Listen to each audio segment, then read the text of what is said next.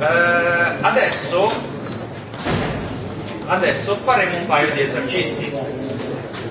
Eh, prima, prima, parliamo della, della, cosa, come si imposta a, ad, un, ad, avviare un CD live eh, partendo dal BIOS. Questa è una cosa che non posso mostrare purtroppo perché durante il BIOS non viene visto dal proiettore. Comunque, la cosa da guardare, eh, la cosa da guardare è impostare come, pri, eh, come priorità massima di boot, cioè il primo device da cui viene a cercare il sistema operativo, che sia o il CD o la chiavetta da cui caricate Linux. Quindi questa è la cosa più importante che dovete seguire quando eh, state per installare o provare una live CD. Adesso partiamo con le cose, con le cose base che abbiamo visto nel primo talk, cioè spostarsi nelle directory e fare un po' di, di creare file, cancellare, eccetera. Iniziamo prima a vedere cosa c'è nella cartella corrente. Anzi, andiamo nella cartella root, che è la cartella da dove parte tutto il file system. Tu, tutto quello, tutte le partizioni, file system, eccetera, vengono montate sotto la cartella root. Quindi in questa cartella, se io faccio ls, vedrò tutto quello, tutto quello che c'è nella cartella principale del, eh, del sistema. Quindi vedo un po' di file che io vorrei cancellare per esempio questo TMP script eccetera non lo voglio vedere come core non li voglio vedere quindi cosa faccio? dico al mio amico RM di cancellare TMP ah attenzione quando scrivete sul terminale se il nome del file per esempio avete scritto TMP underscore non ci sono altri nomi in giro che iniziano col TMP underscore, adesso fate tab e viene completato in automatico. Poi c'è core, vediamo che nessuno inizia con C, quindi se faccio C, tab esce core. Quindi adesso schiaccio invio oh, e mi chiede rimuovere il file regolare protetto dalla scrittura? Sì, impossibile rimuovere, non ho i diritti. Quindi cosa devo fare in questo caso? Devo fare sudo, cioè dire al sistema che voglio eseguire come super utente, come root, un certo, eh, un certo comando. Quindi eh, riprendo il comando di prima, rm tmp script, ok, e poi c'è anche call. Adesso cosa faccio? Se schiaccio invio mi viene chiesta la password del mio utente eh, per, per vedere se ho i privilegi per cancellare questo file. Quindi inserisco la mia password ed ecco che sono stati cancellati. Vediamo il risultato? ls ed eccolo che non c'è più. Poi, vediamo come creare una, un file. Andiamo in una cartella temporanea. Eh, dentro eh, il sistema operativo c'è una cartella chiamata TMP, root TMP. Questa cartella è dedicata ai file temporanei. Quindi invece di andare nella... se volete usare soltanto un file temporaneo che dopo all'avvio volete via e non mai più vedere, andate nella cartella TMP e nella cartella TMP sono tanti file temporanei per esempio ci sono file temporanei che vengono usati da altri programmi, eccetera, eccetera. Quindi adesso noi cosa facciamo? Abbiamo vari modi per creare questo file. Possiamo dire semplicemente, se io voglio dire, eh, creare un file quale, nel quale dentro ci sia eh, la stringa ciao, cosa faccio? Faccio ico ciao Cosa fa questo eh, comando? Questo comando scrive nello standard output eh, la scritta ciao, quindi eccolo qua. Ma io redirigo questa scritta in un file che chiamerò pippo. Posso anche non dare un'estensione, al sistema operativo non importa delle estensioni, importa soltanto al programma finale e se poi vi faccio vedere alcune cose eh, per vedere che tipo di file state a, a cancellare, eccetera. Quindi diamo questo comando, ico ciao ridirigo Pippo. Quindi adesso in Pippo abbiamo il, questo file, eh, questa stringa che è ciao. Quindi adesso, adesso vediamo cosa c'è dentro al file Pippo. Quindi cat Pippo. Dentro a Pippo c'è ciao. Quindi è un modo per fare, per, fare, per creare un file in modo veloce però non è solo il solo modo, per esempio si può anche, cancelliamo Pippo, e eh, possiamo fare un, un, modo alternativo, per esempio il mio editor, eh, il mio editor preferito è Vim, malgrado quello che ha detto eh, Neku, che eh, Emacs è un ottimo sistema operativo, però è un pessimo editor, quindi non credeteli. Eh, basta andare Vim Pippo invio e vi apre una console. I comandi in Vim sono un po' difficilotti all'inizio, quindi eh, basta, basta vedere, faccio vedere alcuni. Per esempio, per inserire del testo ci sono delle modalità in Vim. Per esempio c'è la modalità inserimento testo e c'è la modalità comando. Adesso, come adesso, siamo nella modalità comando. Quindi premiamo I eh, non si vede sotto devo fare ok. Eh, adesso si vede che siamo nella modalità inserimento che c'è sotto inserisci. Quindi inseriamo il nostro ciao facciamo esc scriviamo che siamo di nuovo nella modalità comandi e scriviamo i comandi. Write cioè scrivi su file eh, due punti dimenticavo. Esc due punti per dire che stiamo da, per, dando, per dare un comando, write, scrivi ed esci. Ed ecco qua. Se facciamo cat pippo, sì. eccolo qua, ciao. C'è anche un altro editor. Ecco, oh, cancelliamo pippo e facciamo nano pippo ed eccolo qua che si apre Nano. Nano è un editor molto più semplice, non ha modalità, tutto quello che c'è da sapere è qua giù. Quindi facciamo, scriviamo ciao, guardiamo in basso e vediamo, eh, vediamo, vediamo, vediamo, salva, CTRL O. Questo vuol dire che bisogna premere CTRL e dopo O e quindi crea il comando salva. Quindi facciamo CTRL O mi chiede nome del file in cui salvare Pippo, sì, invio, scritta una riga. Adesso per uscire esci CTRL X ed ecco, se controlliamo abbiamo Pippo.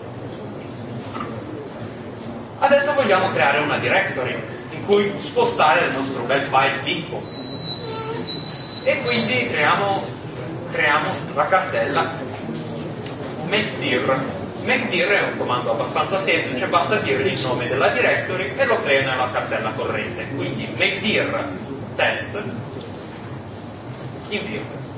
E se noi guardiamo, ha creato la cartella test è qui.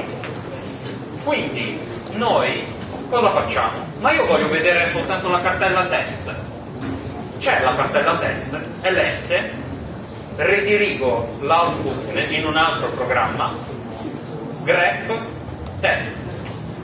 Quindi cosa fa questo?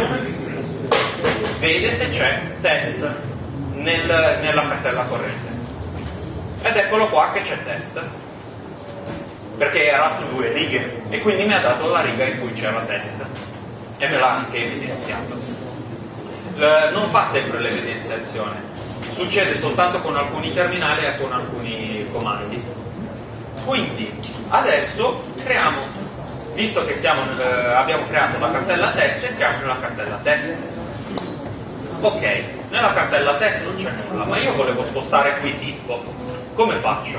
Lo devo spostare con il comando mv. Eh, adesso il Pippo è nella cartella superiore.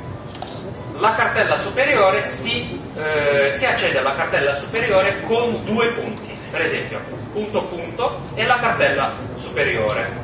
Quindi cartella superiore tipo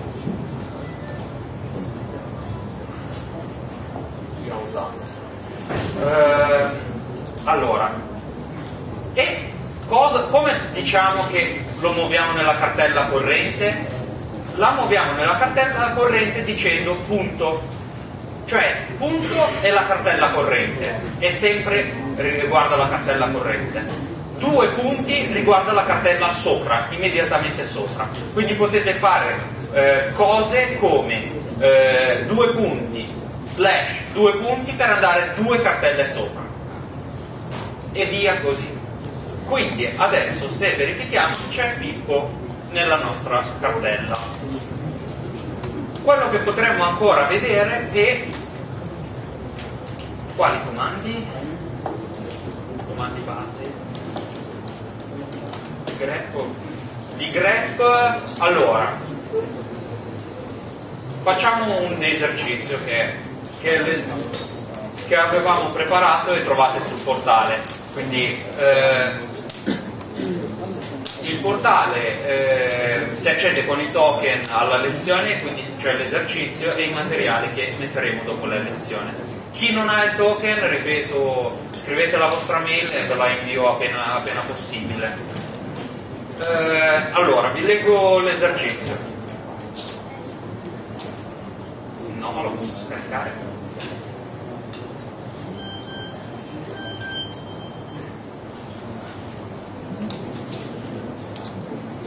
Facendo direttamente così vedete anche voi cosa faccio.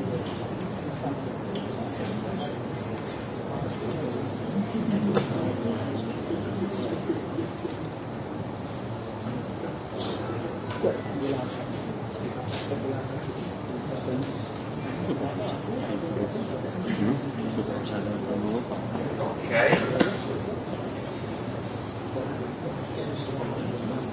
Io non ho accesso alla prima lezione, quindi devo fare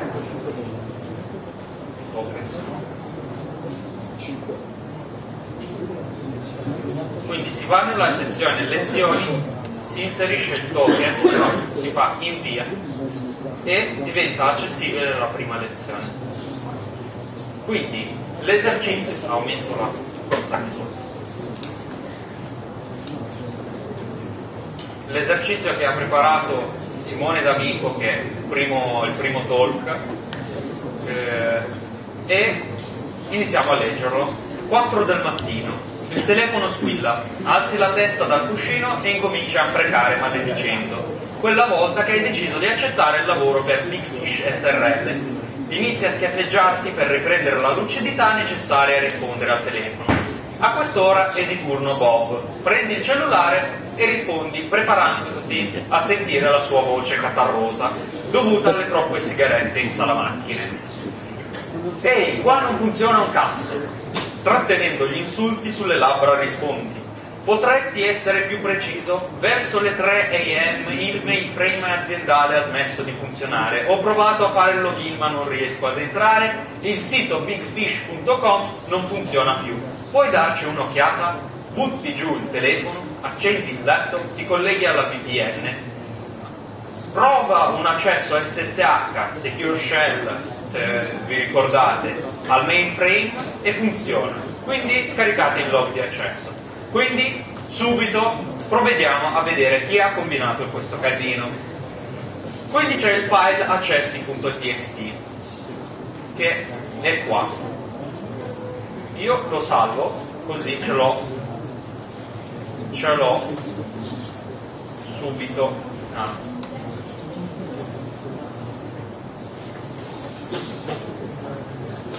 Lo salvo come tmp accessi.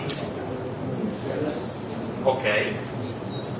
E quindi partiamo con gli esercizi. Salva in un file gli ultimi 10 accessi al sistema. Ok. Noi siamo nella cartella TMP, andiamo nella cartella TMP dove ho salvato gli accessi. Qualcuno ha qualche proposta? Alzate, alzate le mani, vedo una foresta di mani, mi, mi sento a disagio quasi.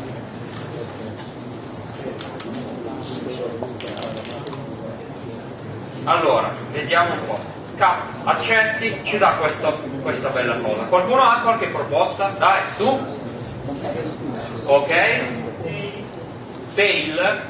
Ok. Aggiudicato. Tail. Accessi. Ci dà gli ultimi 10 eh, 10, le, le, ultime 10 righe del file di log. Quindi tail accessi ci darà soltanto le ultime 10 righe di qua. E infatti, già qua si inizia a vedere chi sia il colpevole, però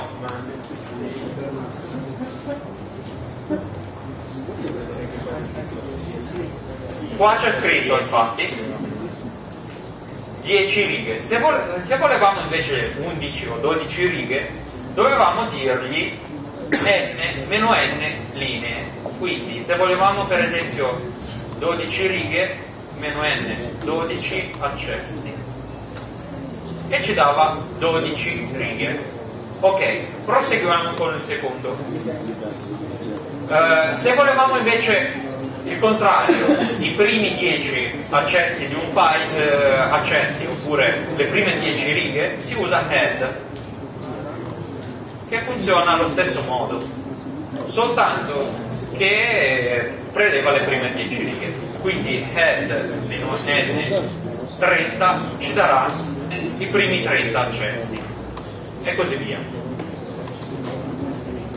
Quindi qua vediamo che la riga è strutturata in anno percentuale mese percentuale giorno eh, ora ora minuto e nome utente. Quindi capite che qua già è facile, è facile separare questi dati. Quindi la prossima è salvare in un file gli accessi che sono stati fatti al giorno, al giorno 2011 0519. Quindi qua chi ci aiuta? Qua chi ci aiuta? Abbiamo visto com'è il formato quindi la data è 2011 05 19 quindi facciamo così cat accessi e ridirigiamo qualcuno ha una proposta?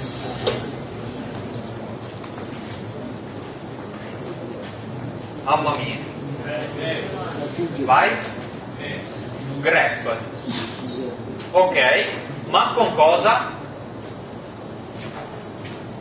silenzio in aula oh. ok due come hai detto?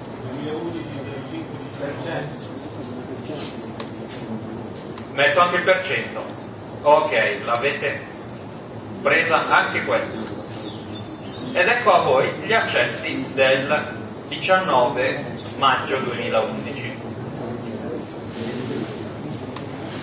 Questa cosa funziona non su tutti, tutte le console, cioè l'evidenziazione. Io uso delle, delle, impostazioni particolari quindi lo permette. Eh, poi ci sono, sapendo che ci sono 30 dipendenti in azienda, estrai la lista degli utenti che hanno effettuato l'accesso e controlla quanti sono Ecco, qua vi voglio, voglio sentire. Ci interessa quindi l'ultimo campo di questa cosa. Come facciamo? 1, 2, 3, 4, 5, 6. Il campo 6. Quindi, quindi quale sarebbe il comando? Dai, su, alzalo. Unique così. No, poi... Chiamo quello di prima in unique. Allora, cosa faccio? Carta accessi, ok. Questo lo mandiamo in unique. Ma ci sono le date che non sono uniche. Dai, vi do un indizio, cat.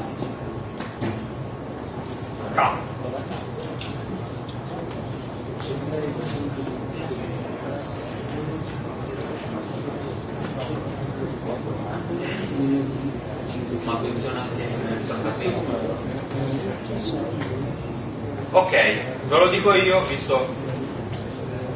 Meno d gli dico che il separatore è percentuale e gli dico che la colonna qual era il parametro? F6, il parametro è la sesta, e quindi mi escono fuori tutti, le, tutti i nomi di quelli che hanno fatto l'accesso. Quindi adesso cosa voglio fare? Voglio vedere quelli unici. Però vi ricordate che Unique non prende, eh, non, prende eh, non, fa, non fa il suo lavoro se la lista non è già sortata, non è ordinata, quindi lo ridirigiamo a sort quindi adesso viene, è stato assortato ok adesso lo voglio unico ed eccole qua sortati in lista alfabetica però noi cosa volevamo? quanti sono? Ok.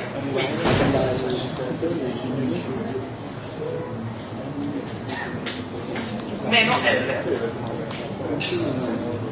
E sono 31 utenti che hanno accesso. Quindi qualcuno è un intruso. Poi vediamo telefoni al tuo telefoni al tuo boss e ti fai mandare la lista degli utenti confermati, de, eh, confermati del sistema poi ho sbagliato eh, vedi chi sono gli intrusi e una volta trovati salva in un file tutti gli accessi che hanno fatto. Ok, supponiamo che eh, questo file c'era.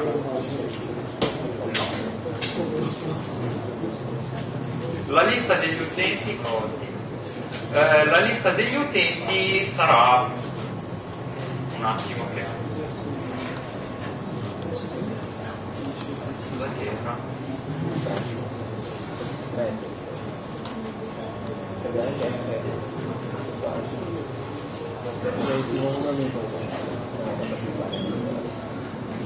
Non, non mi è stato dato il secondo file. Eh, lo creo io al momento soft unique ok e ne togliamo uno a caso. Utenti e adesso da utenti cancelliamo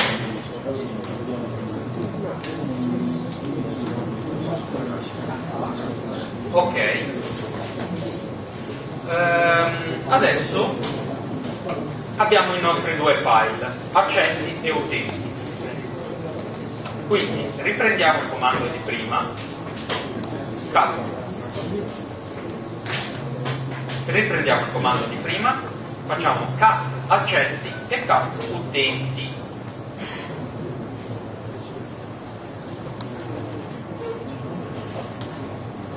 E ci facciamo unique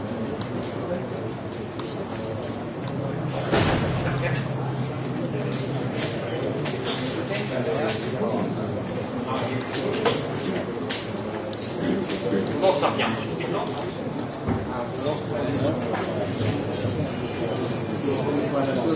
Unique meno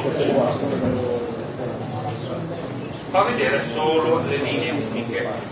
Quindi noi prendiamo accessi e utenti.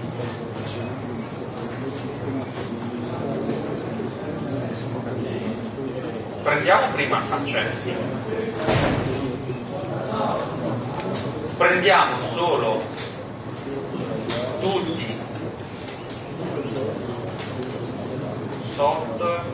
link e li salviamo utenti con accesso.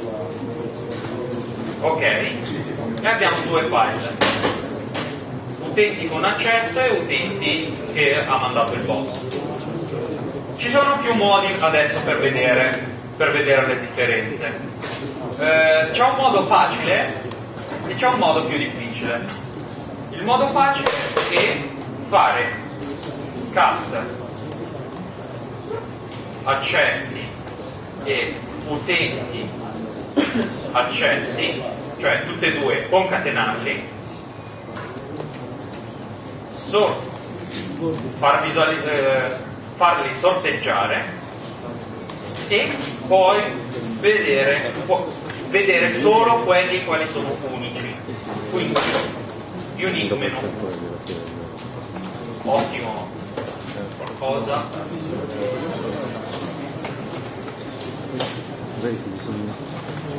Ah sì, ho sbagliato. Utenti. Ed eccolo qua. Il colpevole è lui. È Acaro. C'è un altro modo per vedere, che è un po' più, diciamo, da hacker, cioè usando il comando diff, che fa la differenza tra due file. Quindi vediamo la differenza tra utenti e utenti con accesso ed eccolo qua, Acaro.